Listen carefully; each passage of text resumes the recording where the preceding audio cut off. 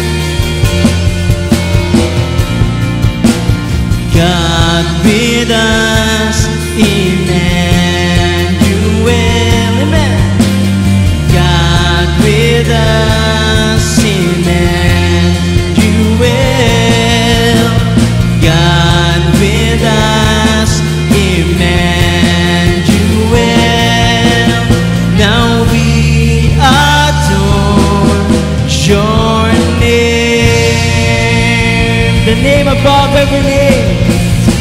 Sa iyo po ang lahat ng papuri at pagsamba aming Panginoon. Hallelujah. Glorify your name.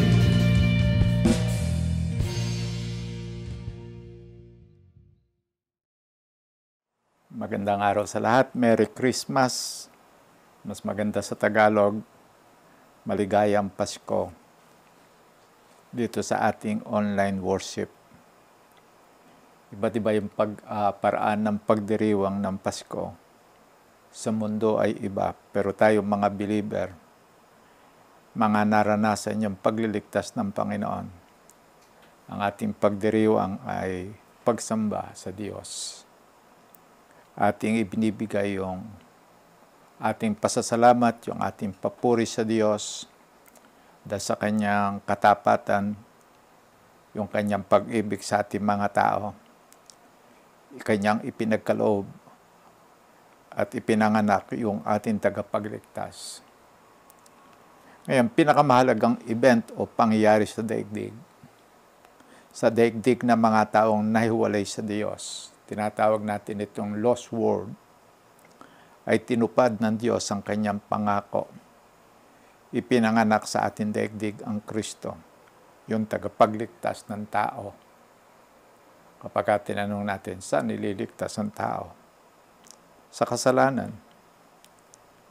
At pagkatapos niyang gawin yung kanyang misyon na ialay ang kanyang buhay para ron sa mga taong makasalanan at siya na buhay na maguli, itinatag yung kanyang mataas na kalalagayan. Siya'y tinatawag ng King of Kings at Lord of Lords.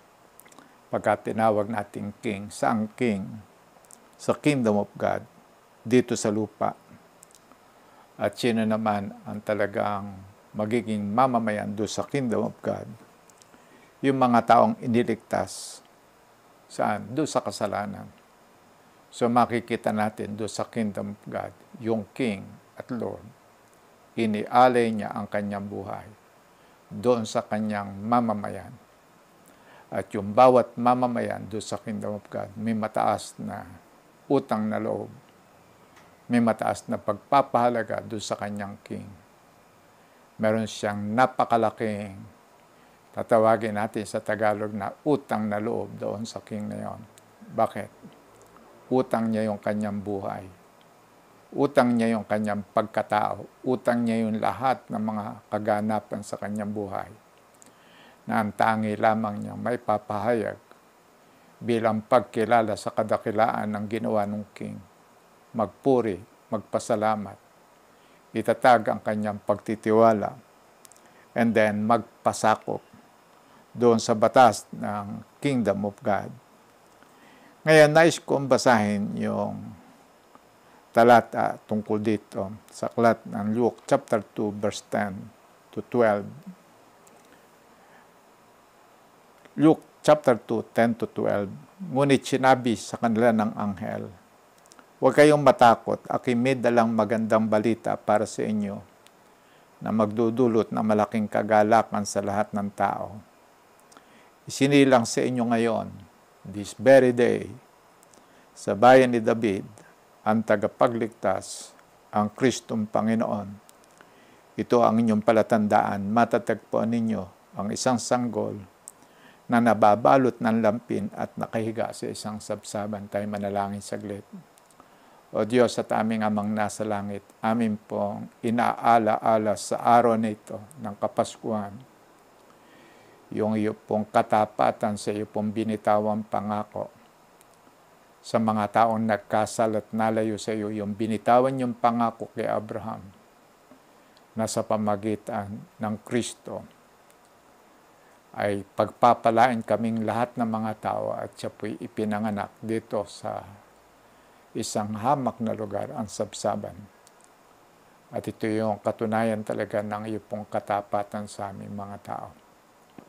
Pagpalain mo nga, O Diyos, yung pakikinig namin sa aming puminsay sa araw na ito ng Kapaskuhan. Hiniling namin ito sa pangalan ni Jesus. Amen. Ang ating topic ay The Savior is Born. Yung ating tagapagligtas ay ipinanganak. Itinaganap more than 2,000 years ago. At makikita natin na yung okasyon nito, binanggit kasi dito sa ating talata, may magandang balita ako dinadala sa inyo, sabi ng mga anghel. Pagka tinanong natin, kangino to ibinabalita? Doon sa mga shepherd na naroon sa ilang at nagbabantay ng kanilang mga hayop. At pansin ninyong mabuti yung pagkakabanggit na sinabi doon sa talata. Ang sabi, aking may dalang magandang balita. So, ang tinutukoy na balita, ito'y tungkol kay Yeso Kristo.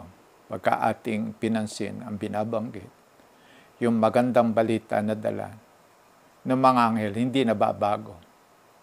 Sapagkat yung magandang balita ay tungkol kay Yeso Kristo, binanggit do sa aklat ng Romans chapter 1 verse 2 to 4 na sa pagiging tao siya ayon sa lahi ni David.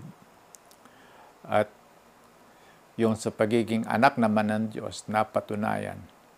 Nung siya mamatay sa krus, siya nabuhay na maguli mula sa mga patay.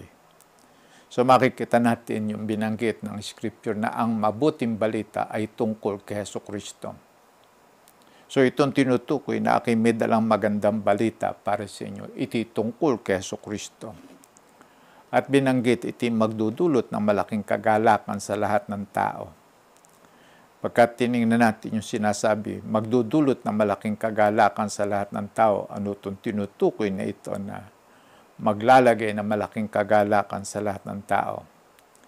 Yung verse 11 binanggit, Isinilang sa inyo ngayon sa bayan ni David ang tagapagligtas. So ang tinutukoy na rito ay yung magdadala ng malaking kagalakan sa tao, yung pagliligtas ng Panginoon. Sa scripture, meron tayong tinatawag na joy of salvation. Na kapag ka naranasan natin yung ginawang pagliligtas ng Panginoon sa ating pagkatao, biglang bubuka, bubukal o kaya yung bang biglang maglalago sa ating puso, yung isang napakatinding kagalakan, hindi kayang unawain.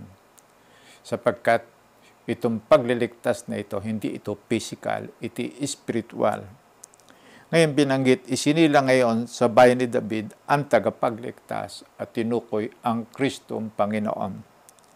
Pagka ating binanggit yung sinabi ng mga anghel, nung anghel, yung salitang Kristong Panginoon, makikita na natin yung magiging uri ng posisyon nitong ipinanganak na sanggol hindi siya pangkaraniwan tao.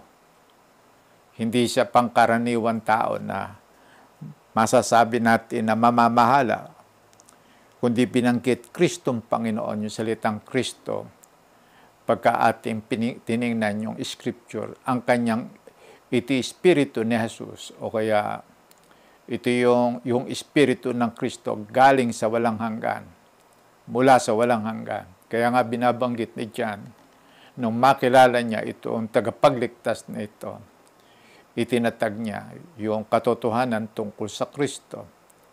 Ang sabi nga niya sa John 1.1, In the beginning was the Word, and the Word was with God, and the Word was God. Pagkatapos idinagdag dun sa verse 14, John 1.14, at nagkatawan tao ang salita. Makikita lang natin na ang pinanggalingan talaga nitong ipinanganak na sanggol na ito ito nagkatawan taong ito ay isa siyang Diyos. Yung kanyang espiritu ay Diyos. Kaya lamang siya nagkatawan tao. Kaya nananatili yung kanyang pagiging Lord. Kaya itatatag pa rin natin na ang tatawag natin dito sa ipinanganak na sanggol na ito, isa siyang Lord. Hindi mawawala yung kanyang pagiging Lord. Ngayon, binanggit doon sa verse 12, ito yung inyong palatandaan. Binanggit, a sign. Ano palatandaan? Hindi magiging pangkaraniwan yung kanyang kapanganakan. Hindi rin magiging pangkaraniwan yung lugar na kanyang kapapanganakan. At hindi rin magiging magiging palatandaan din sapagkat makikitang kakaiba rin ang uri ng kanyang pagiging isang sanggol. Binanggit, kakaiba. Matatagpo nyo yung isang sanggol na nababalot ng lampin at ang palatandaan nakahiga sa isang sabsaban. At yun ang palatandaan na tinutukoy, isang bata na ipinanganak at ang lugar na kanyang nilalagyan ay hindi isang kuna o kaya isang malambot o kaya magandang uri ng kalalagyan, kundi isang hamak na lugar, isang hamak na sabsaban ang kanyang kinalalagyan. Kaya nga kapag ka tinitingnan natin, mahirap paniwalaan ng mga tao. Mahirap paniwalaan na ito ang Kristo sa kadahilanan na kapag ka tiningnan yung kanyang magiging uri, pagkaraan niyang gawin, yung kanyang pagliligtas sa ating mga tao, isa siyang King. Not only King, but King of Lords. Eh, King of Kings, rather. And then, binanggit, Kristong Panginoon, pero binanggit, Lord of Lords. So, makikita lang natin na itong palatandaang ito ay nagpapatotoo kung anong uri yung magiging kalalagayan nitong sanggol na ito. Kaya nga binanggit palatandaan, kaya lamang ano palatandaan dito, anong klase ng kingdom o kaya tagapamahala ito, makikita na kagad dito, yung kanyang humility. Na bagamat hamak lamang ang kanyang kinalalagyan, hindi nababago yung kanyang katatayuan. At yun ang uulit-ulitin ko. Bagamat hamak yung kanyang kinalalagyan, hamak yung kanyang damit na suot sapagkat kapag ka pinansin natin, maging yung lampin, hindi ito maharlika. Sa dahilan ang nag-prepare nito ay mahirap na tao sapagkat ang piniling maging magulang ni Jesus Christ, mahirap na tatay, mahirap na nanay, pangkaraniwang tatay, pangkaraniwang nanay. At kapag ka ating inisip, kapag ka tiningnan itong mga magulang ni Jesus Christ, hindi maharlika, hindi matatawag na itong sanggol na ito ay magiging King and Lord sa kadahilanan. Lahat ng palatandaang panlaman, hindi makikita. Lahat ng palatandaang pang-physical, hindi makikita. Ang makakakita lamang na kanyang taglay itong pagiging tagapagligtas at yung kanyang pagiging Kristo. Yung binanggit na si isang Panginoon, yung binanggit ng anghel kay Mary na si tatawaging anak ng kataas-taas ng Diyos. Kapag ka tiningnan, yung lahat ng palatandaan, walang makikita. Hindi makikita. Hindi siya makikilala.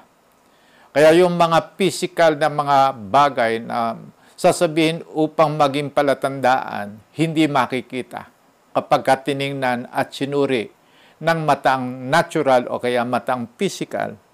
Kaya binanggit, palatandaan itong nakahiga sa isang sabsaban, pambihira talaga, isang hamak na lugar. Ngayon, kaya ko binabanggit itong bagay na ito, itatatag na natin na itong kapanganakan ng tagapagligtas nito doon sa sabsaban, eh talagang pinakamahalagang event na naganap dito sa daigdig ng mga taong nahiwalay sa Diyos. Pinakamahalagang event ito. At kung iti pinakamahalagang event, pinakamagandang bagay na ating unawain, yung pakahulugan ng Diyos tungkol dito sa pinakamahalagang event o pangyayaring ito na naganap sa ating daigdig tinutukin natin maging itong kapanganakang ito walang ibang uri ng kapanganakan na po pwedeng pumantay dito. Maging kung ang nanganak ay isang queen at ang tatay ay isang king ng isang imperyo o kaya ng isang ah, katulad ng Roman Empire, hindi po pwedeng itulad dito sa pinakamalagang event na ito. Sa kadahilanan yung uri ng sanggol na ito, ito yung kadahilanan kung bakit pinakamahalagang event. Pero hindi lamang yung uri, kundi yung kanyang misyon sa ating mga tao. Sapagkat makikita natin talaga na ito'y kakaiba sapagkat pagliligtas, ang kanyang pangalan ay tinatawag na Savior. Itong si Jesus, yung salitan Jesus galing sa, sa Hebrew word na Yeshua. Sa Hebrew word, ang salitan Jesus, Yeshua, ang ibig sabihin, the Lord saves. Yung Panginoon, nagliligtas. Yung pangalan lamang niya, nakakapit na kagad, yung pagiging Lord. At ulitin ko uli, sa kanyang pangalan lamang, pagka binanggit mo, kasama na kagad dun yung salitang Lord. The Lord saves. So kapag ka tinatawag natin siyang Yeshua, tinatawag na kagad natin siyang pagliligtas ito ng Panginoon. Kangino, sa akin at saka sa inyo. Ngayon, gusto ko lamang itatag yung ilang bagay dito bago ko magpatuloy. Sapagkat meron tayong sinas- sinasabi na history repeats itself. Yung kamalian nung una, pwedeng maulit ngayon. At gusto ko lamang tingnan yung ilang bagay dito para sa gayon ay ma, ma, ma- wag, ay ating maingatan yung ating sarili sa kamalian sa mga nakaraan. Ngayon, titingnan ko yung mga Hudyo na pinangakuan ng pagdating ng Kristo, yung mga lahi ni Abraham. Kay Abraham, ipinangako ng Diyos ang pagdating ng Kristo dun sa Genesis 22:18 binanggit doon na ang sabi mula sa iyong offspring pagpapalain ko ang lahat ng mga bansa at idinugtong ng Panginoon dahil sa ikaw ay sumunod sa akin. Ngayon, meron palagian na itinatatag na yung pangako ng Diyos. Meron itong kasama, kasabay na bahagi ng tao. Obedience.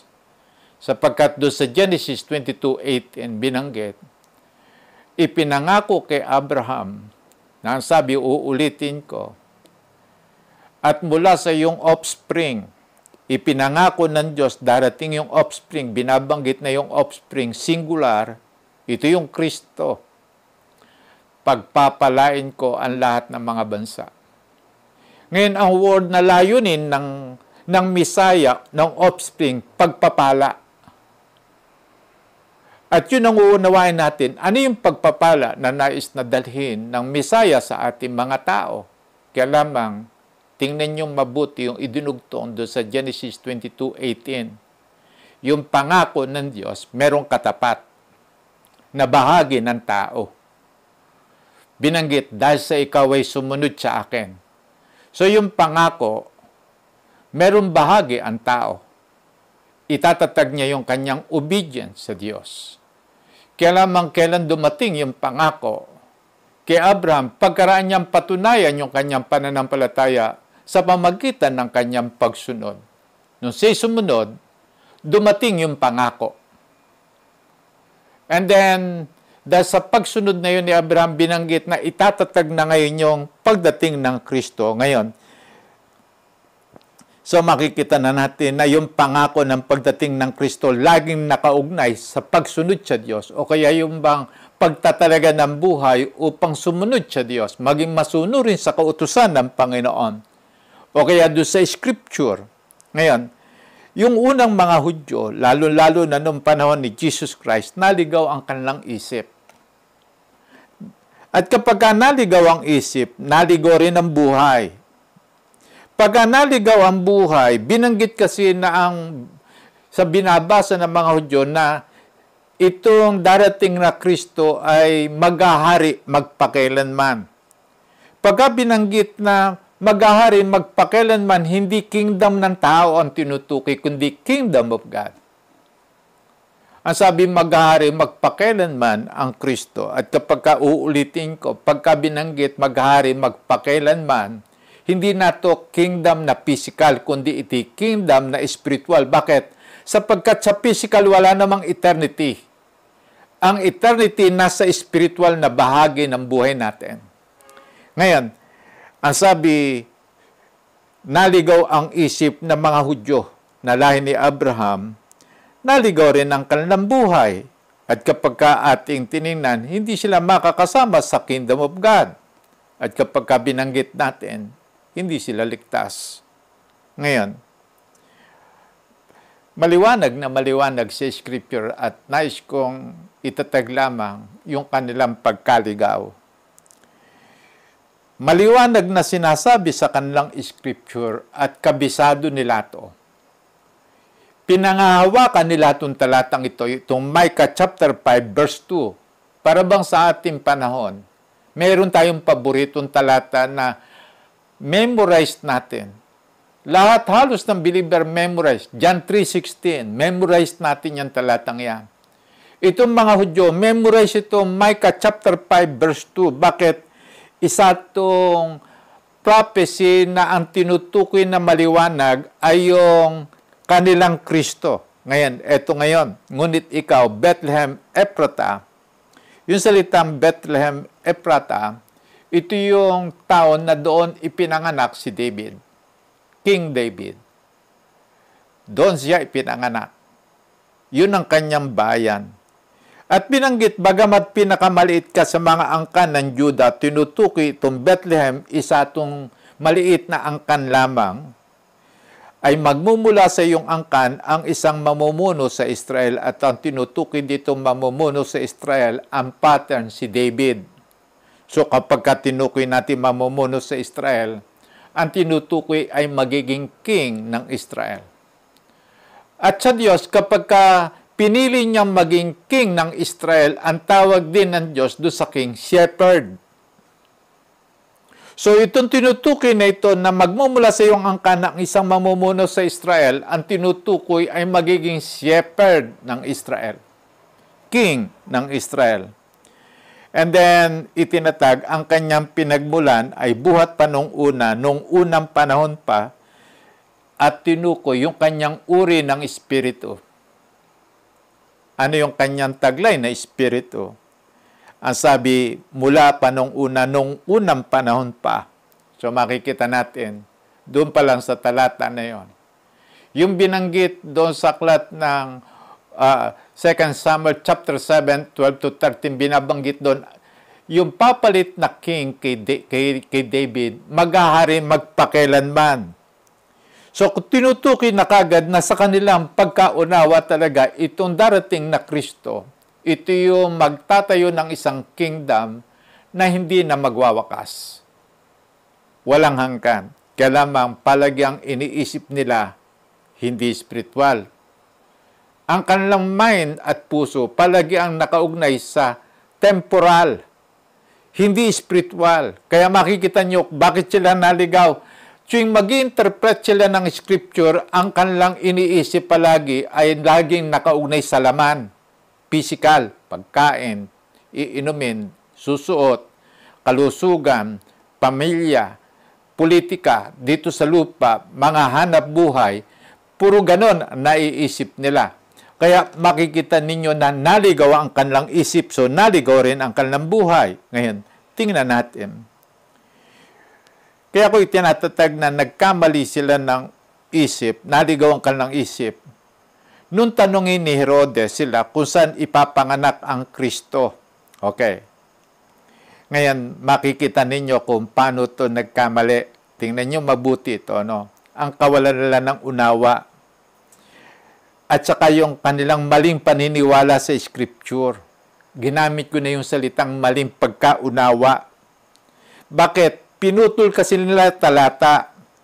Yung pinanggalingan ng Spirit ng Kristo ay walang hanggan, kaya lamang hindi nila ito isinama nung magtanong itong si Herodes. Ngayon, balikan ko itong yung bang Matthew chapter 2, 1 to 5 para lamang makita natin yung error ng mga Hudyo na lahi ni Abraham. Panahon ng paghahari ni Herodes sa Judea nang ipanganak si Jesus sa Bethlehem.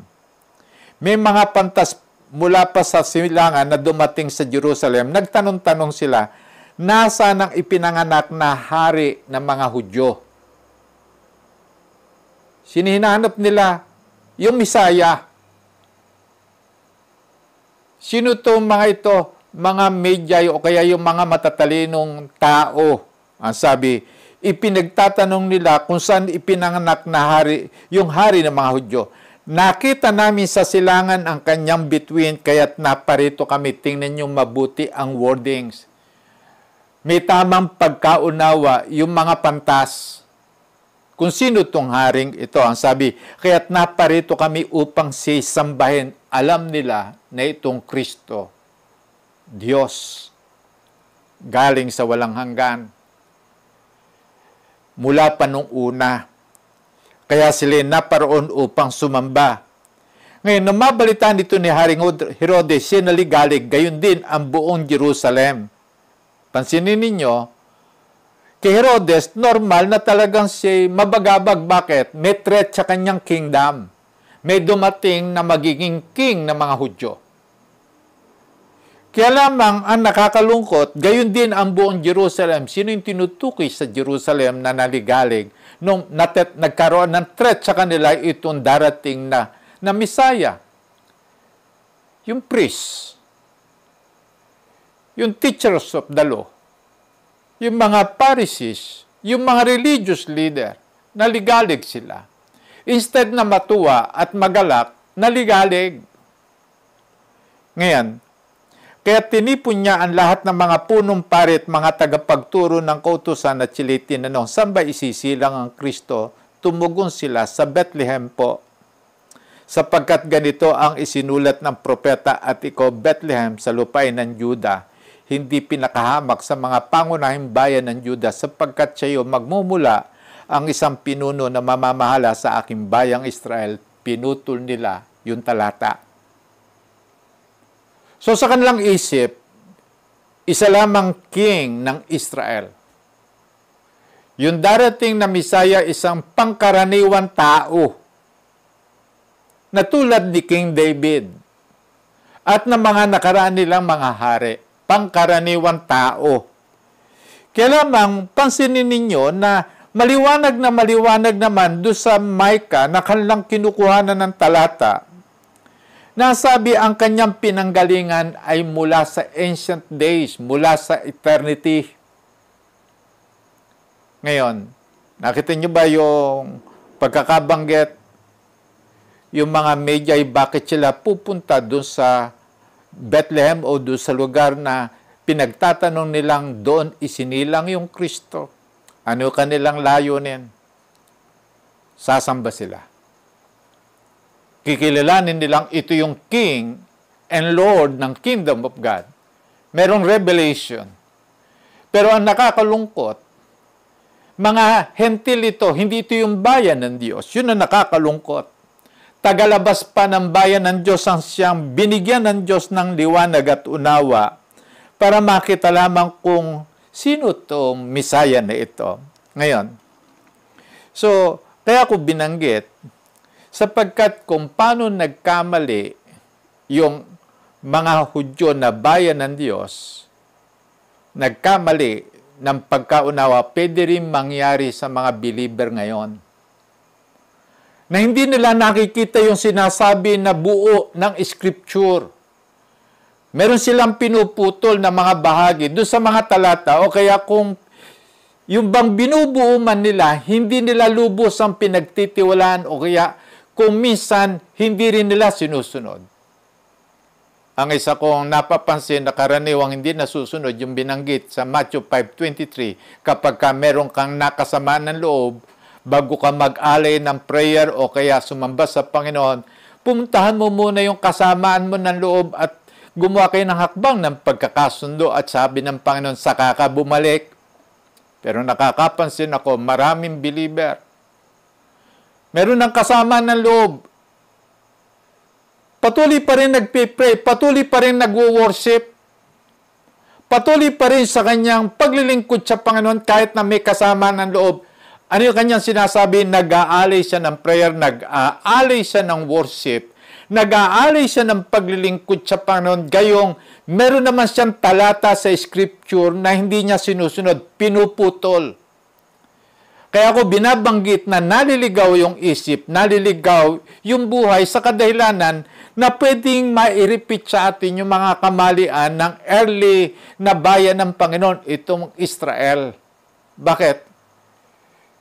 Binanggit kasi na hindi nila lubos ang inuunawa at tinitingnan yung sinasabi ng salita ng Diyos sapagkat sa kanilang paniniwala, pwede namang mag-pray, pwede namang sumamba, pwede naman talagang maglingkod sa Diyos at aasa ng pagpapala ng Panginoon nang kahit hindi 100% na pinagtitiwala ng Scripture, kaya lamang kay Jesus Christ. Binanggit na sabi niya doon sa mga nagsasabing na mat, nung siya mamatay at binanggit yung inaasahan nilang Kristo na wala na, wal- nawalan sila ng pag-asa sapagkat namatay yung King of the Jews. Napansin niyo ba doon sa binabanggit sa Luke 24:21 yung mga alagad 22 to ah, 24 verses 20 and 21 doon, sabi nila, lungkot na lungkot sila sapagkat napagtagumpayan yung kanilang inaasahang king ng mga Hudyo na matay. So nawalan sila ng pag-asa. Bakit? Ang tinitingnan nila mga temporal na mga bagay. Kaya lamang, ang makikita lang natin, hindi nila nauunawa na yung kanila palang kasama na nakikipag-usap sa kanila si Jesus Christ. At ang sabi sa kanila ng Panginoon, ang sabi, how foolish you are. Laking kamang mga ninyo. Bakit hindi nyo mapaniwalaan ng lahat ng nasusulat sa Scripture tungkol sa Kristo? Maliwanag naman nakasulat doon na si dapat na magdusa, mamatay sa krus, bago niya matanggap yung kanyang pwesto na magiging King of Kings and Lord of Lords. Bakit hindi nyo maunawaan? Nakasulat naman. Kaya ako tinutukoy sapagkat may posibilidad na history repeats itself sa atin panahon ngayon. At tayo nagdiriwang sa pagdating ng Kristo na hindi natin naunawaan kung ano talaga yung pinakalayunin ng Kristo. Ngayon, puntahan ko na ngayon ang layunin ng Kristo. Doon sa aklat ng Matthew chapter 1, verses 18 to 25, ito yung salaysay ni Matthew ayon doon sa panig ni Joseph, yung tatay ni Jesus Christ. And then, kaya ko dinadagdag ito sapagkat ah, si Mary, ito yung talagang dito siya nakabetrot o kaya nakapangakong magpapakasal. And then, nung mabalita ni Joseph na itong si Mary buntis, nag-isip siya na itihiwalayan ng lihim sapagkat siya isang taong matwid. Ayaw niyang ipahiya itong si Mary. Pero gusto niyang sumunod sa nasusulat sa scripture. Ano yan? Kapag ka merong sexual immorality, iti isang ground para talagang magkaroon ng paghihiwalay. Kaya lamang ayaw niya talagang si Mary ay ah, mapahiya. Pero meron pang isang batas na tinutukoy din doon si Mary. Sa ganyang nagawang kasalanan, siya babatuhin hanggang mamatay. Kaya lamang, nung nag-iisip na siyang gagawin yun, ulitin ko, matwid na tao. Nung makita ng Diyos na matwid na tao ito, nagpadala ng anghel, ipiniliwanag. Doon sa aklat ng Matthew chapter 1 verse 20, binanggit na ngayon ng anghel kung sino itong yung bang dahilan ng pagbubuntis ni ni Mary. Ang sabi ron, napakita sa kanya sa panaginip ang isang anghel ng Panginoon. Sinabi niya rito, Jose, anak ni David, huwag kang matakot na pakasalan si, si Maria sapagkat ang sanggol na dinadala niya mula sa Holy Spirit. Ngayon, lilinawin ko pamaya-maya pagka pinuntahan kay panig ni, ni Mary na ang dinadala niya mula sa Espiritu Santo hindi galing sa tao.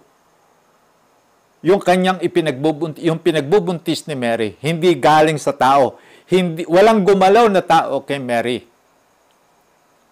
Kaya lamang, ang sabi niya, iti galing sa Holy Spirit.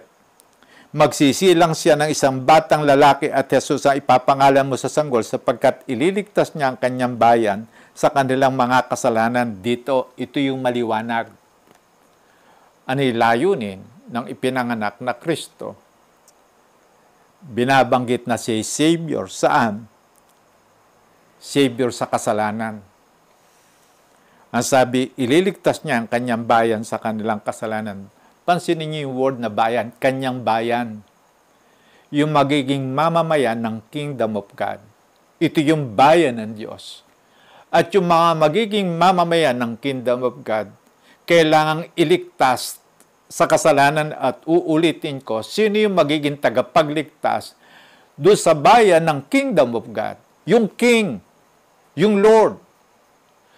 At doon nyo makikita na lahat ng mga mamamayan, uulitin ko ulit, may utang na loob doon sa king.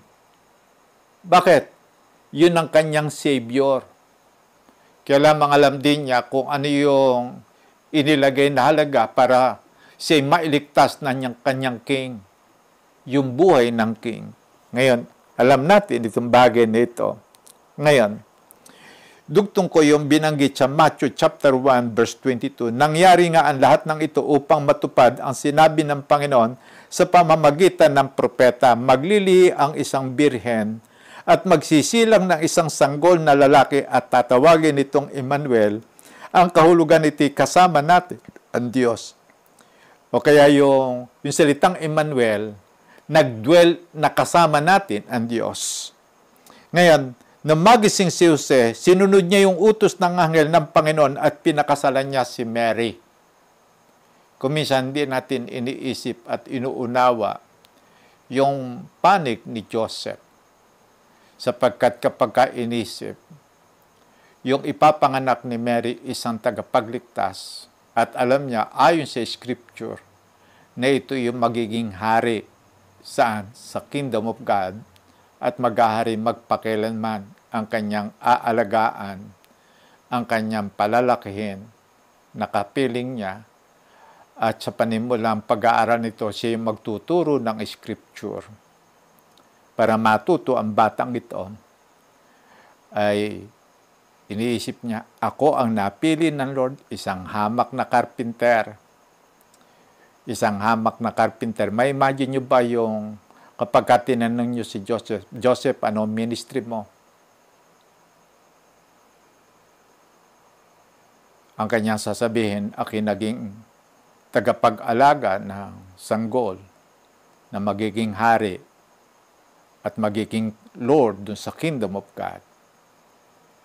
Kaya lamang pagka tinignan yung kanyang katangian at kalalagayan, sasabihin natin na bakit siya ang napili? Kaya lamang makikita ninyo una si lahi ni David. So tama yung natupad ang prophecy. Kaya lamang yung isang bahagi, siya naging hamak na tao sapagkat ang kanyang trabaho, karpintero, at isa siyang mahirap na tao. Kaya ako lamang nabanggit ito. Binanggit na ang tanging qualification na hinahanap ng Diyos sa maglilingkod sa Kanya, iisa lang, maging matwid. At yung salitang matwid, dito nakaugnay yung salitang faith, pananampalataya sa Diyos. Sapagkat binanggit doon sa Genesis chapter 15 verse 6, at nanalig si Abraham sa Panginoon at itinatag ng Diyos, tinawag siya ng Diyos na matwid. Ngayon, ang scripture nagpapatuto kay, tungkol kay Joseph. Binanggit dito sa scripture na sabi ay subalit dahil isang matwid na tao si Jose. Sino nagsasabi? Scripture. Tinatawag ng scripture na matwid na tao itong si Joseph. Kaya naman pagka-scripture na nagsasabi na matwid na tao, ito yung katulad ng pagiging matwid ni Abraham. At paano itinatag ng Diyos na matwid si Abraham? Ang sabi, nanalig si Abraham sa Panginoon, nakipag-isa si Abraham sa plano ng Diyos. Sapagkat binanggit doon sa Genesis 15.5 na ipinakita kay Abraham, ang sabi, yung napakaraming bituin at ang sabi ng Panginoon, bilangin mo mga bituin sa langit. And then, nung tinitingnan nito ni Abraham, sabi niya, ganyan karami ang magiging kalahi mo. Sa panahong wala siyang anak, sa panahong imposible na magkaroon siya ng kakayanan, na mapangyari ng Diyos yung sinasabi ng Panginoon, binanggit to sa Genesis 15.6, nanalig si Abraham. Ano yung tinutukin na nanalig doon? Naniwala siyang kayang gawin ng Diyos yung sinasabi ng Diyos. Ngayon, ulitin ko, naniwala si Abraham na kayang gawin ng Diyos ang sinasabi nito. Kung ano sinasabi ng Diyos, kaya itong gawin ng Panginoon. At binanggit doon sa verse 6, at nanalig si Abraham at siya tinawag ng Diyos na matwid. Ngayon, nakita niyo ba yung salitang pagiging matwid? Sa tingin ng Diyos, naniniwala sa Diyos, nakikipagkaisa sa plano ng Diyos. So itong si Joseph, nakikipagkaisa sa plano ng Diyos na maging poster father nitong Jesus, ni, ni Jesus Christ.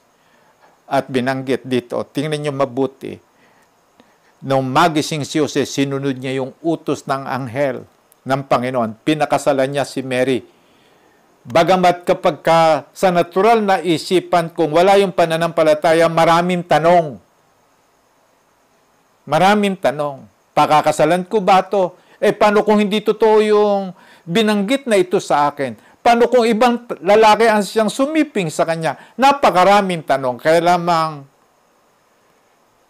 isang tao na matwid na nakikipagkaisa sa Espiritu ng Panginoon, makikita natin itong si Joseph. At doon ko itatatag na ang pagpili ng Diyos ng pagiging magulang ng Kristo, matwid. Hindi yung kanyang napag-aralan, hindi yung mahal di ka ba siya, o kaya meron bang kilala ba siya sa kanyang kapaligiran, hindi yung temporal at physical na mga bagay ang siyang kaparaanan ng Diyos. Ang pagpili ng Panginoon ang kanyang hinahanap. Faith, pagtitiwala sa Diyos. Pwede mong gawin yon. Pwede tayong mapili ng Panginoon. Ano lamang hanapin niya, hindi yung forma natin, hindi yung physical appearance natin, hindi yon. Ang laging hinahanap ng Panginoon from the very beginning, faith, pagtitiwala sa Panginoon, pakikipagkaisa sa Panginoon sa lahat ng plano ng Panginoon. Ito yung makikita nating hina, laging hinahanap ng Panginoon mula kay Abraham, ginawa kay David, ginawa ng Diyos kay Joseph. Gagawin ito sa akin ng Diyos. Gagawin din yan sa inyo ng Diyos. Ano hanapin sa akin ng Diyos? Ano hanapin sa inyo ng Panginoon? Yung pananampalataya. Pagtitiwala sa Panginoon. Bakit? sapagkat uulitin ko yung nananalig sa Panginoon ang kanyang tinitingnan, ano ba sinasabi ng Diyos, ano ba plano ng Diyos, ano ba paraan ng Diyos. Ngayon, pagka ating pinansin, uulitin ko, alam ba ni Joseph kung sino itong sanggol na ipapanganak ni Mary? Alam niya. Kaya lamang tingnan niyo itong mabuti. Noong araw na ipapanganak na si Jesus Christ, no, nung do sa aklat ng Luke chapter 2, binanggit do sa verse 4, nagkaroon ng census at kailangan lahat ng mga Hudyo pumunta sa kanyang bayan, yung kanyang pinanggalingan, yung root niya. No? And then, pagka ating inisip, na sabi, kailangan kailangan ni Joseph at ni Mary na mula sa Nazareth, maglalakbay sila patungo doon sa Bethlehem. At nung i-decree yun, pang nine months na itong si Mary. So alam natin may problem itong si Joseph at saka si Mary. Bakit? Baka dumating yung panahon na ipanganak itong Kristo. Okay. Kaya lamang, nag-aalala ba yung dalawa? I do believe na hindi. Bakit? Parehas na may pananampalataya sa Panginoon. Si Mary nagtitiwala sa Diyos, si Joseph nagtitiwala sa Panginoon. No question asked. Pwede rin nating itatag yung binabanggit sa New Testament na we know that in all things God works together for good to those who love the Lord, those who are called according to His purpose. May purpose ba ang Diyos doon sa bata na isisilang ni Mary? Meron.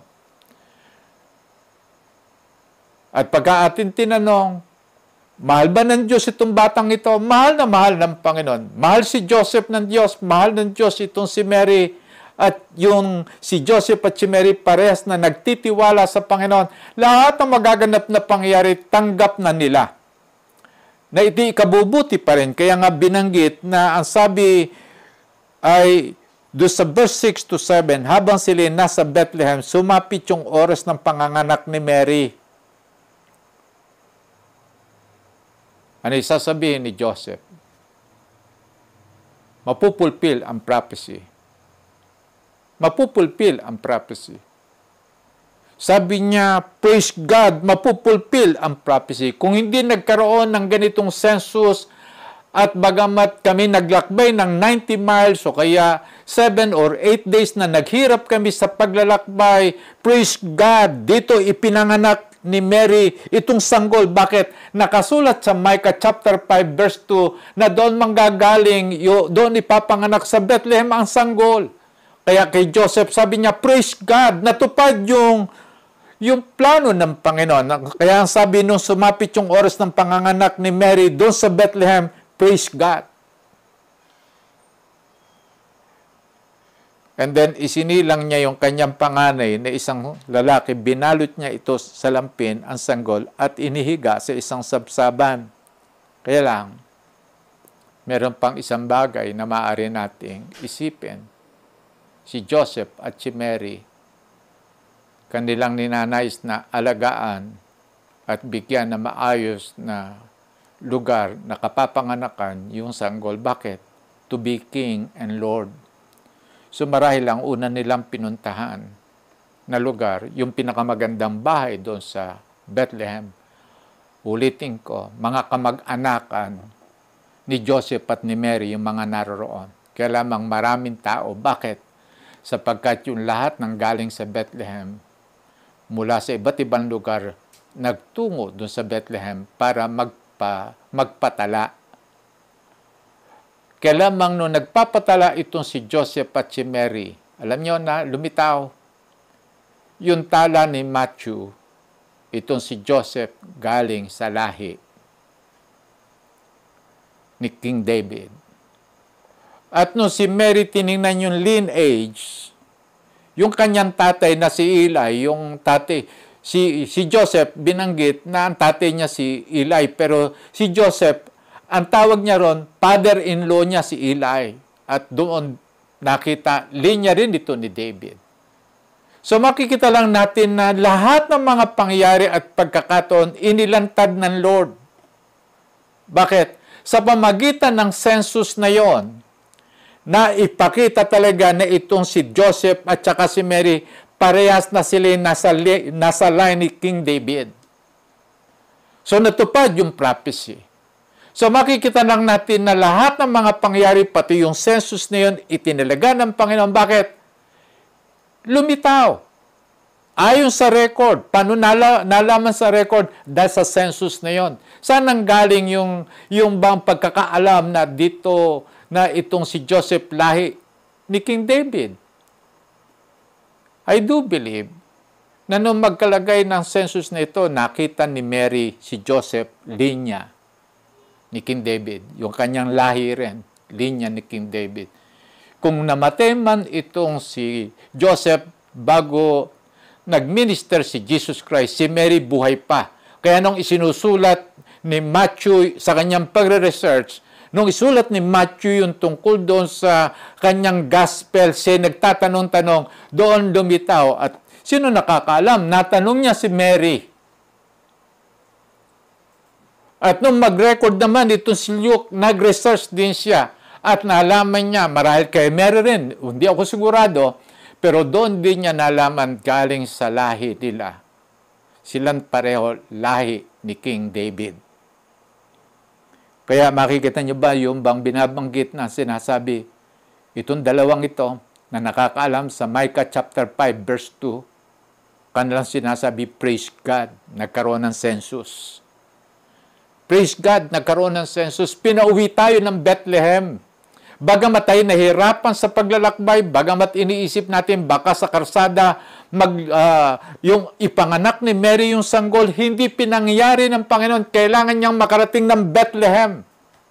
Bakit kailangan niya makarating sa Bethlehem? Sapagkat yan ang nakasulat sa prophecy ni Micah chapter 5 verse 2. Mula sa Bethlehem, ipapanganak yung tagapagligtas. Kaya nga, itinatatag lang natin, ano sasabihin itong dalawang ito? Praise God, praise God. Kahit na mahirap, kahit na may trouble, kahit na ano yung mangyari, isa na lamang ang hindi na kayang lutasin.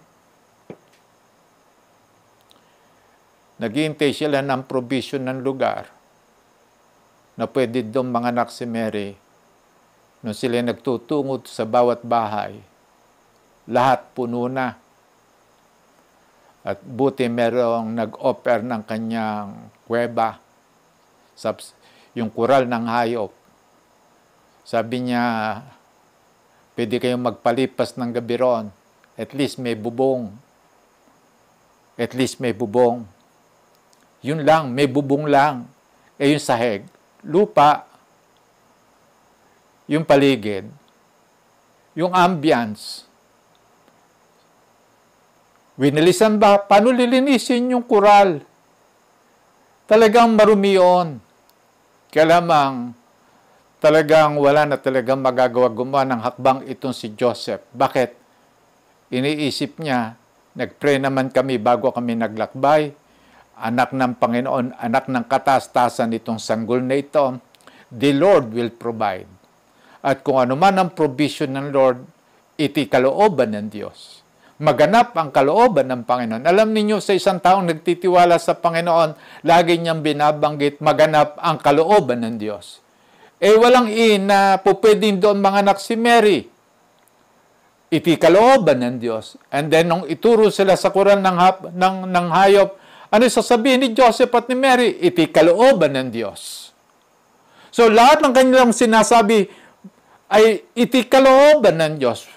At sa atin naman panahon, we know that in all things, God works together for good to those who love the Lord, those who are called according to His purpose. Dito nyo makikita talaga na sa isang lingkod ng Panginoon sa nagtitiwala sa Panginoon, gagabayan siya ng Diyos, dadalhin siya roon sa lugar na plano ng Diyos, plano ng Diyos na ipanganak itong batang ito. Saan? Sa sabsaban. Bakit sa sabsaban? Upang talagang itatag lamang ng Panginoon. Yung yabang ng tao, hindi ito katanggap-tanggap sa Diyos. At ipinakita lamang ng Diyos, paano mo makakatagpo ang Diyos. Sabi nga ng Isaiah 50, chapter 57, verse 15, sino lamang ang pwedeng katagpuin ng Diyos? Yung contrite spirit, yung nagpapakumbabang puso, makakatagpo siya ng Panginoon. Ngayon, tingnan niyo yung binanggit ko kanina. Ito yung palatandaan. Paano mo makakatagpo ang Kristo? Saan mo makakatagpo ang Kristo? Katulad ng binanggit ko. Last Sunday, pagka nagtungo ka, sinabing ipinanganak ng Kristo, pupunta ka sa mga mamahaling hospital, doon mo hanapin ng Kristo, hindi mo siya matatagpuan doon. Bakit yung attitude lamang natin na dapat doon ipinanganak ang Kristo sa isang mahalikang lugar o kaya magandang lugar? And then, kung ikay maghahanap sa Kristo at pagkatas pupuntahan mo mga malalaking bahay, hindi mo makakatagpo si Jesus doon. At kung magandang maganda ang damit mo at magandang maganda ang pagtingin mo sa buhay at sa mga tao sa degdig nito, hindi ka pupunta ron sa kural ng hayop. Hindi ka bagay doon. Hindi ka bagay doon. Ang bagay lamang pumunta ron yung mga nagpapakumbaba at kaya lamang pangungunahan sila ng Panginoon na magsisisi ka para makatagpo mo ang Kristo. Hindi mo makakatagpo ang Kristo doon sa yung bang yung bang ah, pagmamayabang o kaya yung pagiging masarili o kaya pagtataas ng sarili, hindi mo makakatagpo ang Kristo. Kaya binanggit, ito yung palatandaan sa mo makakatagpo yung Kristo. Nakahiga sa sabsaban, anong pakahulugan nito? Hanggat di ka nagpapakumbaba, hindi mo siya makakatagpo. Hanggat di ka nagkakaroon ng pusong magsisisi, hindi mo siya makakatagpo. Kaya ngayong araw ng kapanganakan ng Panginoon, ipinakikita na kagad ang sabi, the Savior is born. Para kangino ito ang Savior nito, doon lamang sa nagsisisi at nagpapakumbaba ang puso, yung mga mayayabang at mapagmataas, hindi niya makakatagpo ang Panginoon. Bakit? Lantad na lantad, siya mo makakatagpo ang Panginoon. Kailangan kang magpakumbaba. Nakahihils ka ba? Maganda ba suot mo? Baka marumihan yan sa pagtungo mo sa kuweba. Pagkatapos eh, nakapabango ka pa ba? At ayaw mo talagang makaamoy man lamang na mababaho o kaya yung bang yung smell o kaya kapag kapangit ang lugar, hindi mo po pwede, hindi mo matatanggap na iti pupuntahan mo, hindi mo makakatagpo ang Kristo. Sa mo makakatagpo ang Kristo. Lalakad ka sa mali, sa marumi at saka hindi magandang lugar. Pagkatapos ay sasabihin mo na ang dumi naman ito. Pagkatapos yung asal dadalhin ka sa isang madilim na kuweba. Ano ba namang klaseng lugar ito? Kaya lamang, kapag ka nagre-reklama na ka ng ganon, baka hindi ka na tumuloy na makipagtagpo sa Kristo. Bakit? Sa naroroon ng Kristo. Nasa madilim na kuweba. Saan sa nakahiga? Doon sa sapsaban. Pagkatapos marumi yung lugar, mabaho pa yung lugar, marami pang mga hayop na yung bang may ingay na naroon, baka hindi mo magustuhan. Kaya lamang yun ang piniling lugar ng Panginoon. Bakit? Sapagkat ang nice talagang makatagpo ng Panginoon, mga taong magpapakumbaba. Kaya nga sabi ng Isaiah 57.15, sino yung po pwedeng makipagtagpo sa Panginoon? Those who are contrite in spirit and humble. Yung nagpapakumbaba. So sa araw na ito ng Kapaskuhan, itinatatag na natin yung bang binanggit sa Scripture, ipinanganak yung tagapagligtas. Ngayon, gusto ko lamang itatag yung ilang bagay na sinasabi sa Scripture. Yung pinakalayo ni na pagpapala ng Panginoon. Sa aklat ng Acts chapter 3 verse 25, ano talaga yung pagpapala ng Diyos? Ang sabi ng Panginoon kay, kay, kay Abraham, sa pamagitan ng offspring mo, pagpapalain ko ang lahat ng mga bansa. Sabi sa Acts 3, 25 to 26, nung nag, nagpipreach si Peter, ang mga pangako ng Diyos sa pamamagitan ng mga propeta ay para sa inyo at kasama kayo sa kasunduan na ginawa ng Diyos at ng inyong mga ninuno ng kanyang sabihin kay Abraham, pagpapalain ko ang lahat ng angkan sa daigdig sa pamamagitan ng iyong lahi o kaya yung tinutukoy na lahi rito si Jesus Christ. Kaya't matapos buhayin ng Diyos ang kanyang lingkod, sa inyo siya unang sinugo upang pagpalain kayo. Ano pagpapala? Tulungan tumalikod sa inyong masamang pamumuhay, pagbabago ng buhay, ang pagpapala ng Diyos. Kaya naman pagkat tinignan natin, anong pagbabago ng buhay? Ang pagbabago ng buhay na tinutukoy dito pagkaraan natin magsisi sa ating kasalanan papalitan ng Diyos yung ating datihang pagkatao ng bagong pagkatao. Ngayon, ito yung tinutukoy na pagpapala ng Diyos, pagpapalit ng tao sa ating loob, pagbabago.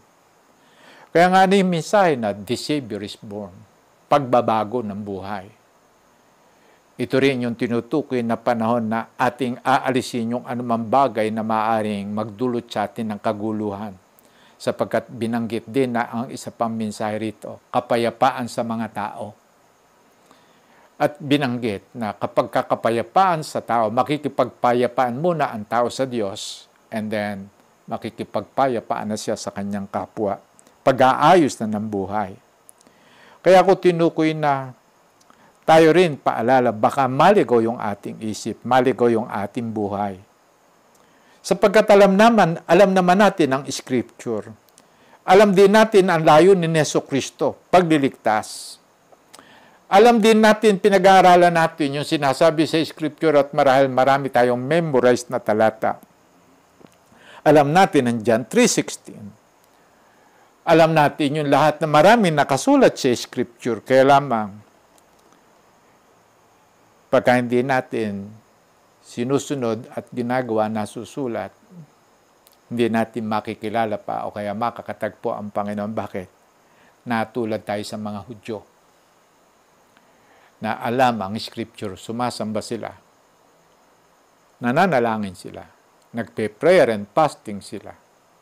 Kaya lamang, may maling pagkaunawa. At pagka mali ang pagkaunawa, mali ang buhay.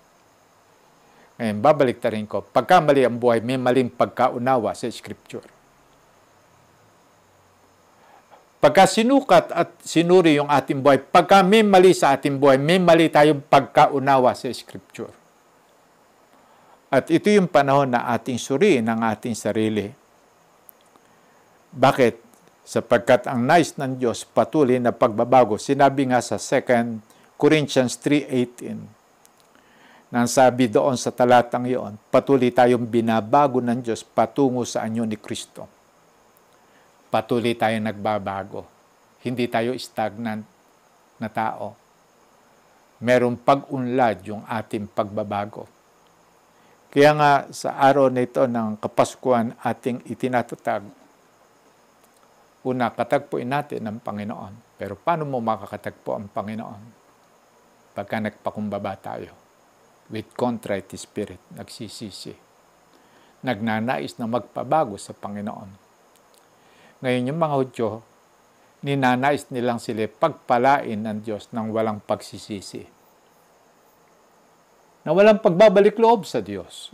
Na-imagine nyo ba? Nagpipray naman, nagwo-worship naman, ninanais nilang sila pagpalain ng Diyos sa kanilang buhay, pagalingin yung kanilang karamdaman, and then tugunan sila sa kanilang lahat na pangangailangan, mga pagkain at dadamitin nila, nice nilang sila pagpalain ng Panginoon. Kaya lamang nung makita nilang si Jesus Christ, nagpapagaling na may sakit. Pagkatapos ay nagpapalaya ng mga inaalihan ng masamang espiritu. Nakakita nila himala, yung bulag nakakakita, yung lumpo lumalakad. Binanggit, ito na nga ang Kristo. Kaya lamang, ang kanila pa rin inaasahan, temporal lang. Sapagkat binanggit, doon sa aklat ng John 20.30, napakaraming milagro at kababalagang ginawa si Yeso Kristo, pero binanggit doon sa talata na yon. Lahat ng yun ipalatandaan lang. At ang layunin upang tayo manalig na si Jesus ang Kristo. Ano yung tinutukoy doon? Upang tayo magsisi, magbalik loob sa Diyos, magpasakop tayo sa Panginoon. At sumunod tayo sa Panginoon, babalikan ko uli yung Genesis 22.18. Nung ipangako ng Diyos kay Abraham, yung Kristo, ang sabi roon, ay sa pamagitan ng iyong lahi, ito rin yung binanggit sa 325, ang sabi, pagpapalain ko ang lahat ng angkan sa degdeg sa pamagitan ng iyong lahi. Do sa Genesis 22.18, merong paraan o kaya merong bahagi ang tao para mapagpala siya ng Diyos. At ang sabi ron, sapagkat sumunod ka sa akin.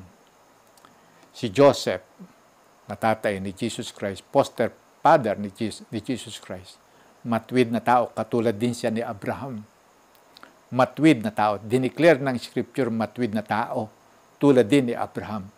Sumusunod din sa Panginoon. Kaya kung ano ipagawa ng Panginoon, sumusunod siya alam niyo ba, napakabigat yung maging role na maging poster father ng Kristo. Pero siya sumunod sa Panginoon. At doon nyo lang makikita na talagang sa araw na ito ng Kapaskuhan, ano yung pinakaminsahe? Pagbabago. Pagbabago ng buhay. E paano sasabihin natin, sino lamang yun? Yung mga hindi pa nananalig sa Panginoon ko, hindi pa tinatanggap si Jesus Christ na Lord and Savior ng iyong buhay. Sa araw na ito ng Kapaskuhan, iyong ipahayag na gusto mong katagpuin si Yeso Kristo. At ulitin ko, paano natin makakatagpo ang Kristo?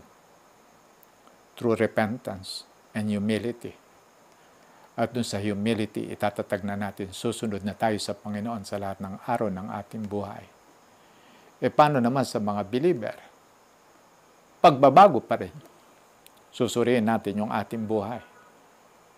Meron pa bang kailangan pambaguhin dyan? Yung ating isip, yung ating puso, yung ating ginagawa. Kumusta relationship natin sa bahay? Kumusta relationship natin sa mga kapatiran? Kumusta yung ating devotion? Kumusta yung ating worship? Kumusta yung mga ginagawa natin? Priority pa ba natin ng Diyos? Meron pa ba tayong passion sa Panginoon? Passion sa Kanyang gawain? Maapoy pa ba yung ating pananampalataya? Ngayon, kung hindi maapoy yung ating pananampalataya, ito ba'y dapat magbago? Wag, wag ninyong isipin na katanggap-tanggap sa Panginoon yung pagka iniwanan natin yung first love natin. Hindi matatanggap ng Panginoon. Kapag binitawan natin yung ating first love, remember yung binanggit sa Revelation chapter 2, 4 to 5, pagka hindi sila nagsisi, na-imagine nyo ba, iniwanan lamang yung first love. Mahal pa rin naman ng Panginoon, kaya lamang yung first love, yun ang nawawala. Ang sabi ng Panginoon, magsisi ka, magbago ka. May mga believer bang binitawan na yung kanyang first love? Hindi na siya kasing apoy ng dati. Hindi na siya ganon kasigasig. Napipilitan na lang siya mag-devotion. Napipilitan na lang siya mag-worship. Napipilitan na lang siya mag-cell group. Pwede tayo magbago. Lapit lamang sa Panginoon. Italaga natin uli ang ating buhay sa Diyos. Talaga uli natin. At sabihin natin, Lord, hinihiling ko po yung Holy Spirit. Paapuyin uli yung puso ko sa pag-ibig sa inyo. Mag-umapaw uli sa aking puso yung passion sa Diyos at passion sa iyo pong gawain. Alam niyo kung bakit para bang naluluoy o kaya para bang natutuyo yung ating spiritual life dahil sa yung hindi natin napapansin, naliligaw na tayo yung ating isip, naliligaw na yung ating buhay. At ulitin ko, pagka mali, may mali sa ating buhay, may mali sa ating pagkaunawa sa Scripture. Yung maling pagkaunawa, may maling buhay, kaya lamang ulitin ko. Pagka mali ang buhay, may maling pagkaunawa. Alam niyo ba kung bakit mali? Yung buhay ng mga Hudyo, yung sinabi ni Jesus Christ, How foolish you are, sabi niya doon sa aklat ng Luke chapter 24, 25. How foolish you are, bakit hindi niyo ma maunawaan o kaya hindi niyo mapaniwala ng lahat ng sinasabi ng propeta? Kaya nga sa araw na ito ng Kapaskuhan, iti araw ng pagbabago, pagbabago ng buhay. Renew natin yung ating buhay. Recommit natin yung ating buhay doon sa ipinanganak sa sabsaban. Bagamat siya sanggol yung kanyang espiritu, Diyos, King, Lord. Kaya magkaroon tayo ng 2 or 3 minutes time para mag-pray o kaibigan.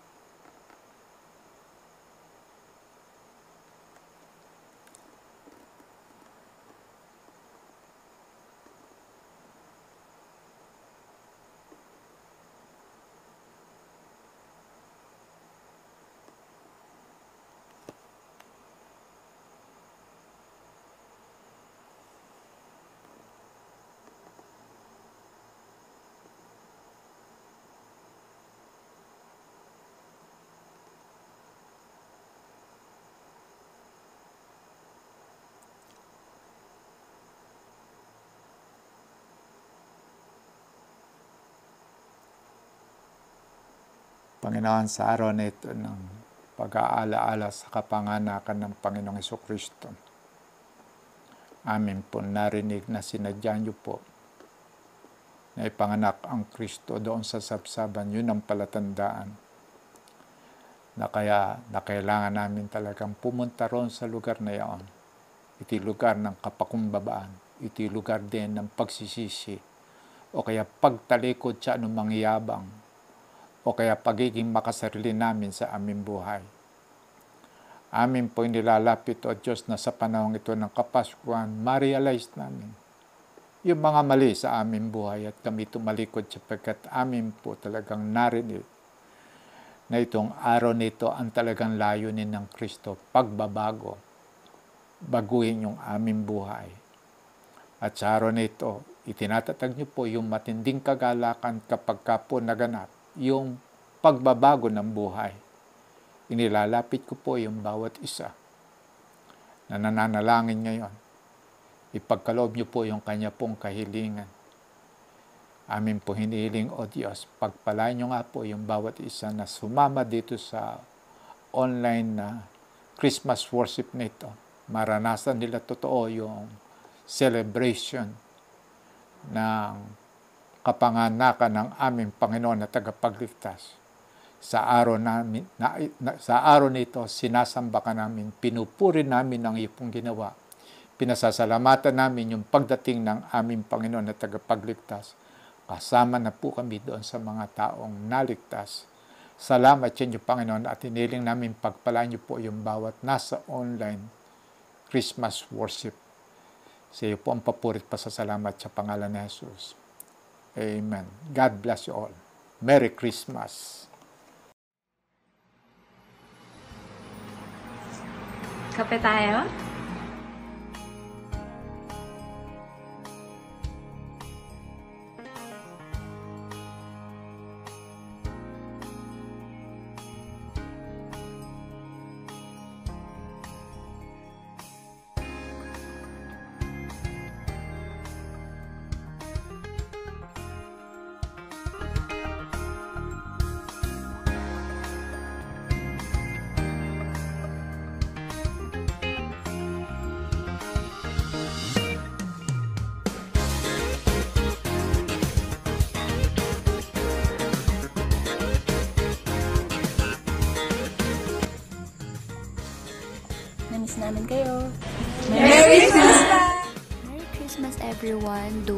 Celebrating a Christmas that we didn't expect because of COVID-19 pandemic, I hope na hindi to yung maging reason kung bakit mababawasan yung value, kung bakit natin sineselebrate itong season na to.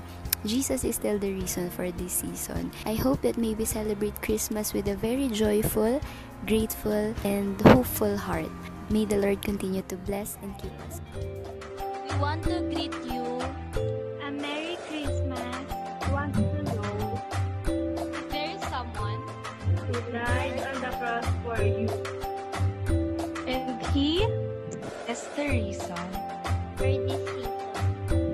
hail King Jesus. Bye! Hey SND, Merry Christmas! Enjoy natin itong season na to sa presence ng Lord. May your holidays be filled with peace and joy in Jesus. God bless you. Merry Christmas, sons and daughters! Mahal na mahal tayo ng Lord Jesus. Ngayong panahon ng Kapaskuhan, marami man tayong pinagdaanan, pero sabay-sabay tayong aahon at babangon. Maligayang Pasko sa ating lahat. We wish you a Merry Christmas. We wish you a Merry Christmas. We wish you a Merry Christmas and a Happy New Year. Merry COVID-free Christmas, mga kabadis! Mula sa aming tribe. Mula sa aming tribe. Tapos sa aming tribe. Mula sa aming tribe. Mula sa aming tribe. Mula sa aming tribe. Mula sa aming tribe. Mula sa aming tribe. Mula sa aming tribe. Mula sa aming tribe. Mula sa aming tribe. Hi SND buddies! Kumusta naman kayo dyan? Alam ko naging mahirap ang nakaraang sampung buwan sa atin dahil sa COVID pandemic. Pero alam ng bawat isa sa atin na wala makakapigil sa ating pag-alala o sa ating pag-celebrate sa ginawa ng Panginoong Jesus para sa atin. Yon ay ang Pasko. So, kaya inanyayahan ko yung bawat isa sa atin, magpatuloy tayo, dumalo, magkita-kita tayo sa ating S&D worship at isang maligayang Pasko sa ating lahat. God bless you.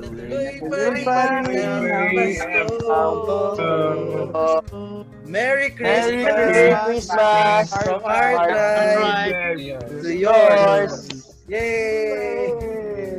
Ikaw lang, ikaw lang, ikaw ang liwanag at ligaya. Merry Christmas from our tribe to you. Merry Christmas! Merry Christmas sa ating lahat! And even though this is not the Christmas that we used to, wag nating kalimutan to have a thankful heart and let us celebrate Christmas with our family. At wag na wag nating kalilimutan, ang bida ng Paskong ito ay si Lord Jesus. Merry Christmas! Okay, mga ka-SND. So, it's Christmas time once again. And our family is praying for your safety, security, and also hope, peace, and joy.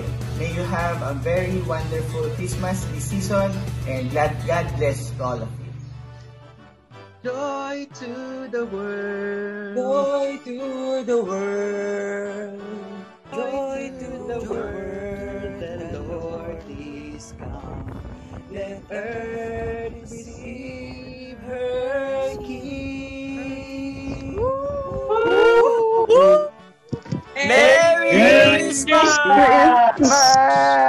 From Team KJ!